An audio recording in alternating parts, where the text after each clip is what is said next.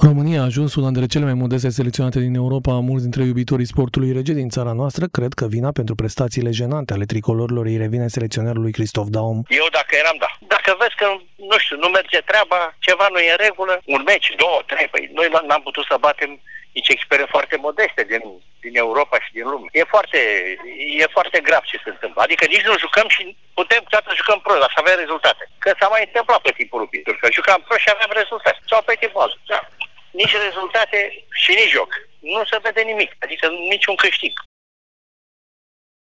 Antrenorul oțelului, Stelian Bordeanu, crede însă că demisia lui Daum nu reprezintă o soluție. Cu părerea, eu cred că ar trebui totuși să-și ducă mandatul până la, până la capăt. Dacă a fost investit, după aia să tragă o linie, ce a făcut bine, ce a făcut uh, rău și să ia o, o decizie. Da? Normal, uh, nu, nu cred că numai un singur om poate să fie vinovat pentru tot răul lui din fotbal românesc. Este o, se spune, ce sameni aia cu legi. Deci trebuie aprofundată problema.